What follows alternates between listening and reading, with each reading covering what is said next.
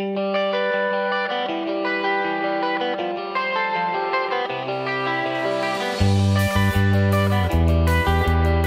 first play of the season at the Pels uh, will be a play called Bad Jews. It's a wonderful comedy by a startlingly young writer named Josh Harmon, directed by Daniel Aukin. It had its world premiere last year at the Black Box Theater. Um, and this is extremely exciting for us. It's the first time that we've ever moved the production from the Black Box Theater up to the Pels. Bad Jews was a big hit for us this past fall in Roundabout Underground, and that's a space that we created to launch the careers of emerging playwrights. And the basic idea is to give them a space to premiere their work, to introduce them to the theatrical community and to audiences, and hopefully be the launch pad for their ongoing career. It's really a comedy about cultural versus religious Judaism.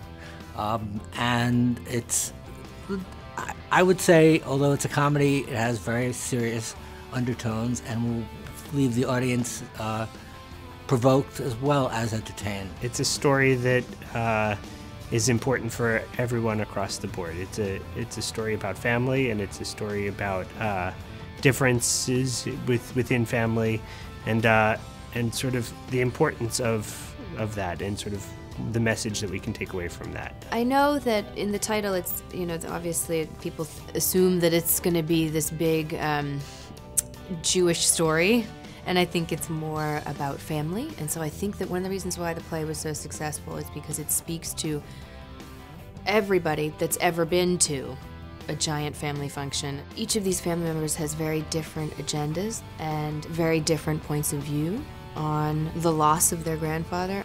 I think that audiences identify with, if not all the characters, at least one.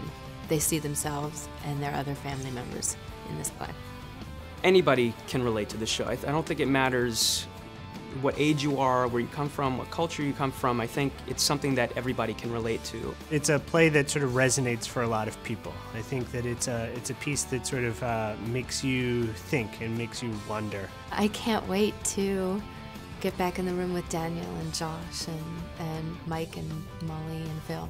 Um, we have a lot of fun together. We're a real team, uh, and we rely on each other and we play off of each other. It was just a great group of people, and it's a great script, and um, I really loved what we put on the stage, and so you know you hope that you get the opportunity to revisit things, especially if you really enjoy doing them, and um, so I'm thrilled. I can't wait to play this character again because I, I just I think she's fantastic. Bad Jews is about family. It's about loss. It's about ownership. It's about faith. It's about pride. It's about controversy. It's about respecting your elders, and it's about keeping traditions alive. It's about you. It's about you. It's about you.